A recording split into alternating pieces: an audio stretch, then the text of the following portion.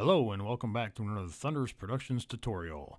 I'm your host Jag Thunder and this is Minecraft.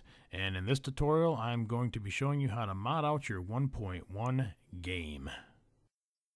The mods that we'll be focusing on uh, are going to be single player commands, too many items, Zoms mod pack, buildcraft, industrial craft, and red power, and also world edit. You're obviously going to be needing a lot of files to be doing this. Uh, don't worry about these other uh, ones I have in here, the Journey Map and Better Than Wolves. Uh, the Better Than Wolves does not play nice with others as far as uh, with Forge and all these other ones that I'm doing, unfortunately, because that's what I really wanted to do for this tutorial. But I've got some other good mods here anyways. Some helpful tips that I'd like to share in this tutorial. Uh, I like to create a folder on the desktop and put all my mods in that. That way I know where they're all at. And then I also like to get myself just a plain vanilla copy of Minecraft, and I'll show you how to get that here in just a second, and also put that in the folder. That way if I make any mistakes, I don't have to re-download it every time. Now I'm going to go over each mod individually and tell you exactly which one that you need. Um, as far as up to date of this video, you will use all the latest downloads for each uh, mod except for uh, Forge, and I'll show you that here in just a second. Alright, the first one that you're going to need is ModLoader, and just get the latest version, whatever it is. And then the next one you'll need is ModLoader MP 1.1 version 2. And then you'll need single player commands MC 1.1.0 version 3.1.1. Then you're going to need too many items 20 12 underscore 01 underscore 12. You'll also need Zoms Mod Pack version 5.10. And then you'll also need the forge that goes along with that. You'll get that off the same page as Zoms Mod Pack, and it'll be Forge 1.3.1. And the version for the Zoms uh, Mod Pack Forge is 5.10. And then you'll also need MC Patcher 2.3.2.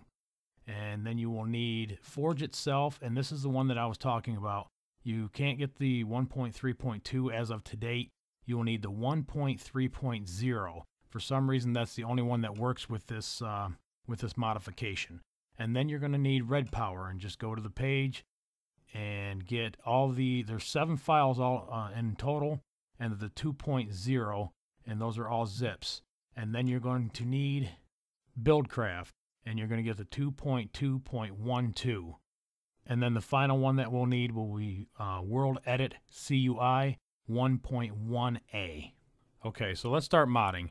Uh, before you mod, I'm going to stress this like a few times. Back your shit up. Always back your shit up before you start modding. Otherwise, when you mod, um, the new mods will take over the old mods, and then what you had before will be gone. So the easiest way to do that is to take your Minecraft folder and and put it on the desktop. So you want to go down to the uh, your start bar, you want to type in uh, in the run command percent app data percent, and that'll bring up your roaming folder. And inside at the top is your .minecraft folder. All I do is I right click it, cut it, and then paste it onto the desktop. Now it's completely out there. Now all you have to do is start up your Minecraft client, sign in, and it'll automatically down the one, uh, download the 1.1 version, all the jar files, and everything that it needs.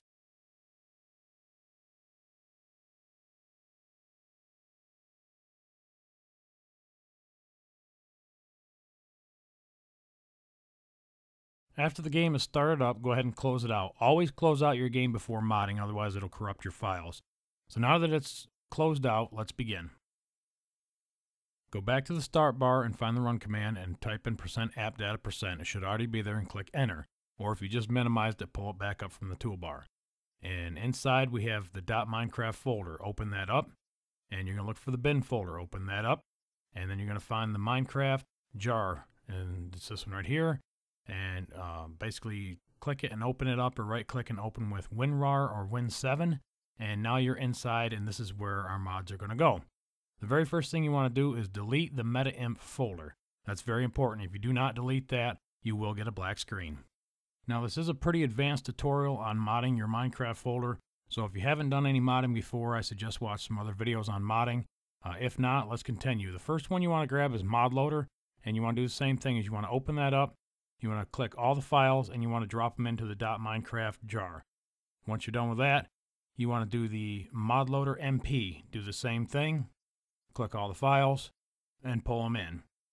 And then the next one you want to do is Forge. You're going to open that up and grab all these files and drop them into the .minecraft folder. Now grab the too many items and pull all these files and drop them in. Uh, at this point, uh, let me note that too many items I install twice. I put it in at this point so I can start the game client up and make sure up to this point everything works. You'll have to put it in again because the next mods that we put in after this will actually overwrite the too many items. So too many items will go in at the end one more time. I hope that makes sense for everybody. Now close out this folder that has your .minecraft jar in it and go back to your roaming folder. You want to back up one folder and right here you want to create a new folder called mods, M-O-D-S, and it's got to be lowercase and I've already have it here in a folder so I'm just going to kind of copy it over. But anyways, you want to create that folder and on the inside, this is where you want to put your buildcraft and your industrial craft and also all the red power ones. Make sure you get them all. And then at this point, I close everything out and I test the game.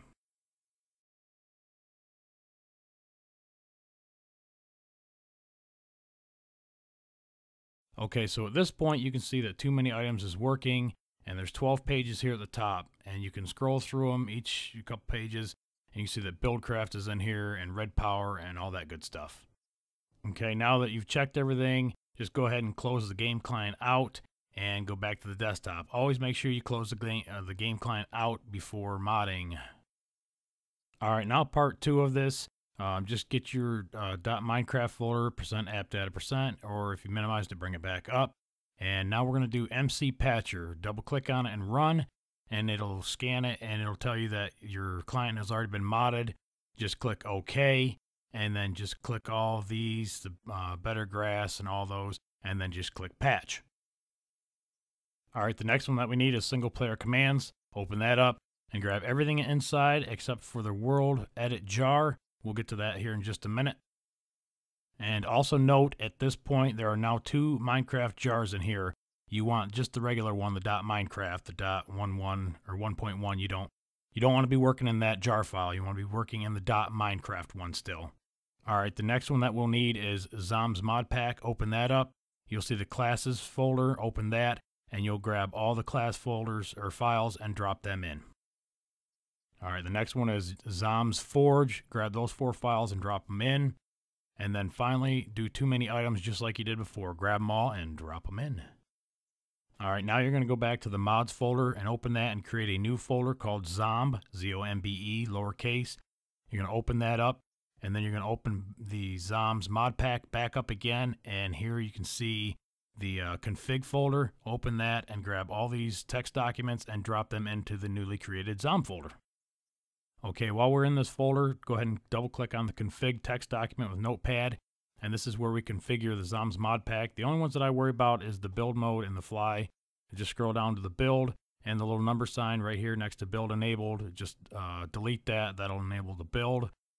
And then I just scroll down to where it says digging speed and I bump that to four. And that's that way the blocks, you know, smash quicker. And then distance where one can build. Uh, I put that at 30, that way you can reach out further. And then scroll down a little further to fly mod. Enable that by deleting the number sign, and then you can leave these uh, letters here the same. I changed mine to capital J, capital N, capital M, just because that's what I'm used to doing. And then if you scroll down further, you can see all the the speed speed enablers. You can speed them up and all that. The one that I worry about is whether no clip mode is enabled by default, and I just changed that from no to yes. Now we're going to take care of the world edit jar. Uh, basically, we're going to open up the single player commands again, and we're going to take the world edit jar and we're going to drop it in right where the .minecraft jar is. Not in with the Minecraft jar, but in the folder where that's at in the in the .minecraft bin folder. All right, the next one we're going to do is world edit. Open this folder, open that folder, and open this folder.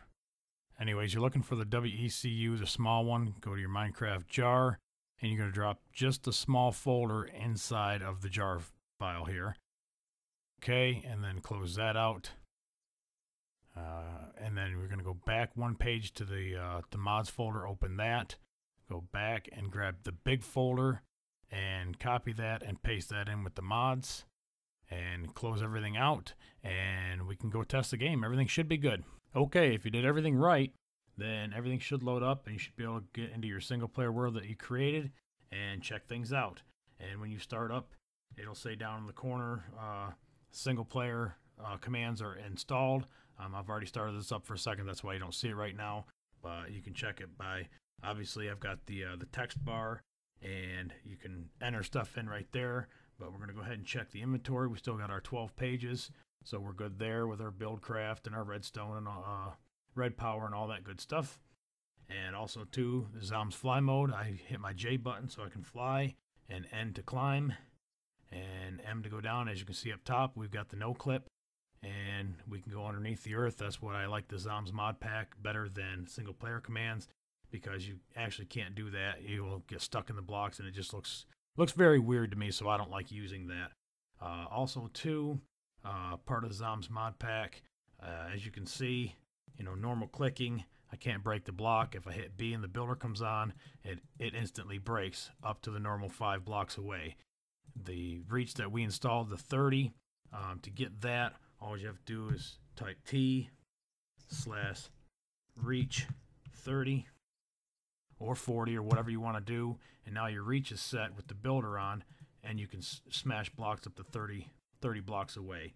Uh, turn that back off, and you still reach up to 30 blocks, but it's just normal uh, hitting on the blocks. So anyways, turn that back on and you can smash them away. Uh, the next thing that I want to show you is the world edit real quick. And what we'll need will be a uh, wooden axe. So pull that from the inventory. And this works with a left click and then a right click. And you can find tutorials on how to use this. I just want to show you that it does work. And what we put in was these grids so you can see what you're doing and we're just going to turn this to wood real quick just like that and then deselect it and you're back in business. So that's everything. I hope you've enjoyed this tutorial. I hope you got a lot out of it. Uh, it's a little confusing. Watch it a few times. You'll get it. It took me a few times to get it too. Uh, remember rate comment and subscribe. Follow me on twitter and we'll see you on the next one. Later